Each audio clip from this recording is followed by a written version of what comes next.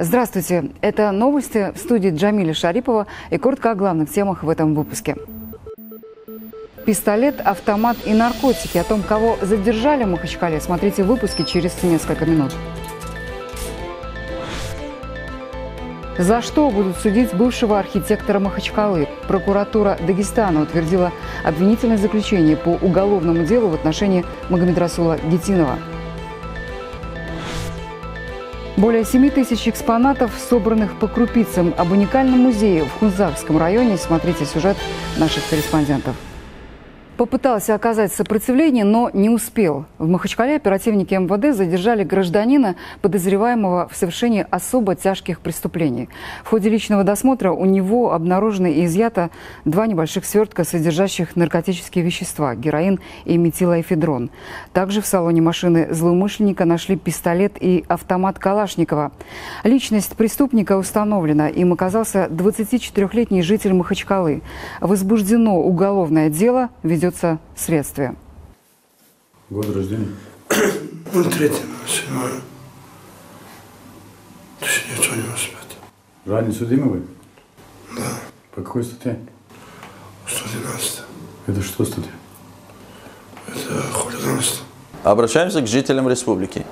Если вы стали жертвой преступных действий задержанного, либо владеете какой-либо дополнительной информацией, просьба обращаться по номеру телефона 99 42 23 либо 0,2.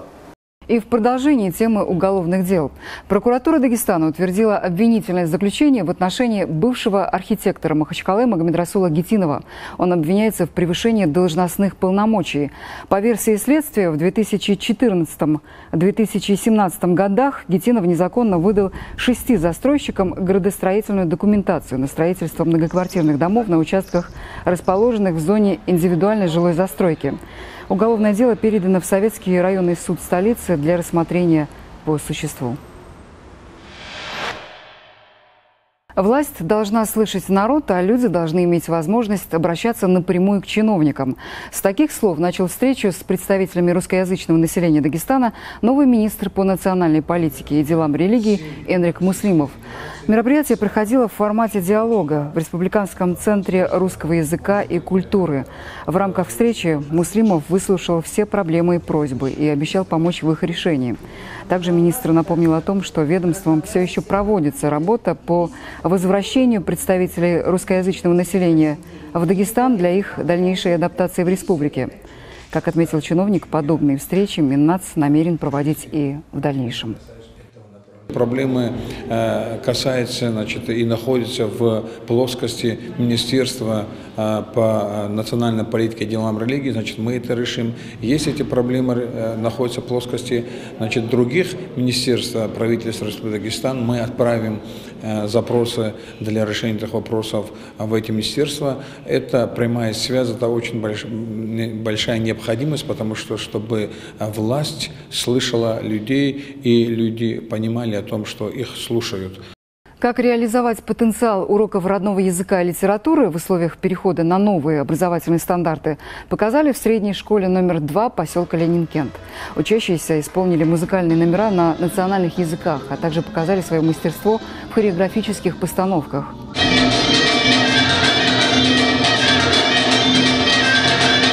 Несмотря на предпринимаемые педагогами усилия, все еще есть проблемные вопросы в преподавании родного языка.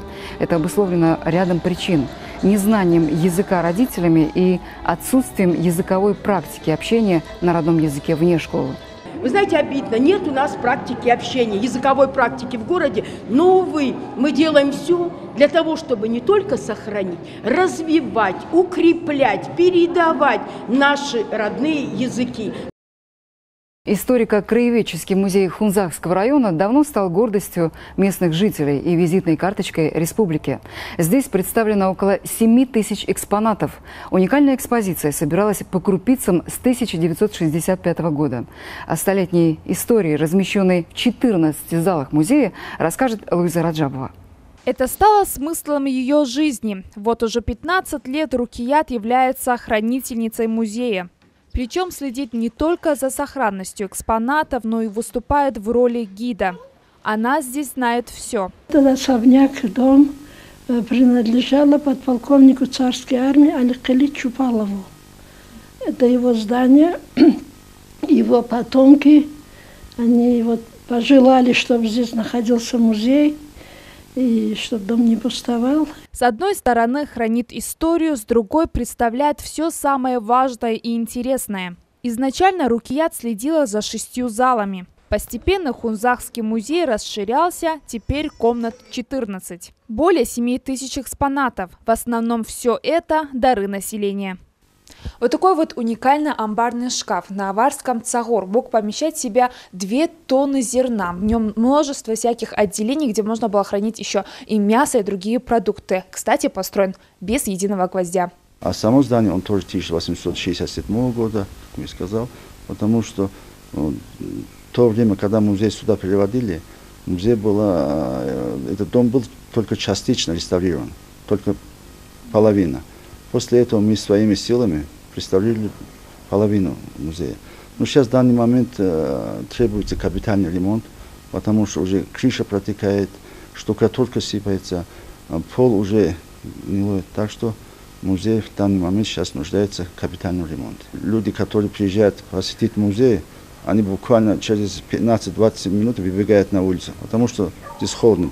Оружие, посуда, одежда, украшения. Быт горца в музее сумели сохранить и воссоздать до мелочей. В 2013 году музейная коллекция пополнилась новыми экспонатами X века. Вазы огромного размера обнаружили во время раскопок на территории строящейся Гацатлинской ГЭС. Здесь у нас находится запасник. Здесь которые экспонаты, которые э, похожи друг на друга, мы больше двух-трех не выставили. Из-за этого а, ждут своего часа, когда полностью э, реставрируем ту комнату, еще одну комнату хотим открывать. И их тоже будем выставлять. Предметы истории и быта горцев в холодных залах. Музей нуждается в отоплении, которое приспособит выставочные залы к требуемым условиям и огородит экспонаты от сырости.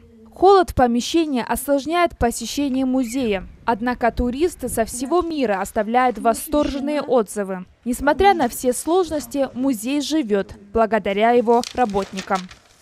Луиза Раджабова, Гаджи Магомедов, телеканал ННТ, Хунзакский район. А в Дербенском музее-заповеднике состоялось открытие выставки «Великий шелковый путь». Все экспонаты из Татарстана. Живописные работы, графические композиции и произведения декоративно-прикладного искусства представлены Елабужским музеем. Специально для этого в самый древний город России приехала представительная делегация гостей.